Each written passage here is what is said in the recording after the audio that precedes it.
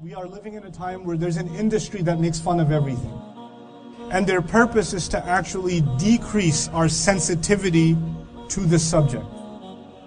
They want to make us less and less sensitive to the, the honor we're supposed to show to the messenger. So eventually it's not a big deal. You guys know what's happening in Hollywood. There, were, there was Noah, a movie about Nuh alayhi salam, then recently a movie about Musa alayhi salam, and this is just them testing the waters. You understand what I'm saying to you? They're just testing the waters. And these movies are horrible. I don't, if you've seen it, make istighfar, boycott these films, do not watch these films. We should have nothing to do with these films. You shouldn't even learn them to know what the kuffar are saying. There's no point in you learning what the kuffar are saying. They have nothing good to say. Don't worry about it. And as a matter of fact, their account, the Hollywood version, is a, a, a deviation from the biblical version, which is twisted already. The Bible's version's bad enough. And then they add their own chaat masala on top, and then they make these movies. And you know, movies can have a very lasting effect on people. When you watch an image one time in your head, then you know, those of you who saw Prince of Egypt, when you think of Musa alayhi the picture comes in your head, that's messed up. That's not supposed to be there. So don't, don't watch this stuff.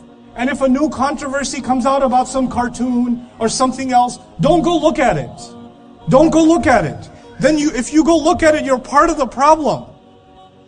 No, no, no. I was just looking at it to see what they do. So I can say astaghfirullah. No, you are part of the hit count. They're counting how many hits that video got. Or how many clicks this image got. And you are now counted among them. You made it popular. You know when a video becomes popular, when a, a video has a million hits, then the next person clicks it because it has a million hits. When it has 10 million hits, you look at it, hey, it got 10 million hits, it must be good.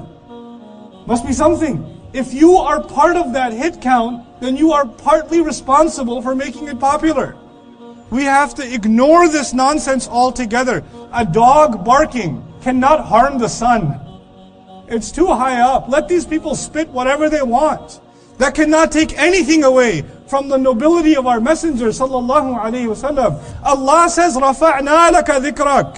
We raised your mention. When Allah raises something, no creation can bring it down, people. No creation can bring it down. They can say whatever they want. Whatever they want. It will change nothing. It will change nothing. It will take nothing away from the nobility of our Messenger والسلام. And we have to adopt the prophetic model in responding to these insults. You know, al-ina. We cannot get so reactionary. Muslims have to show a higher level, a more sophisticated level of response to these people, to this craziness. And by the way, when we act crazy, then they turn around and say, see, we told you these people are crazy.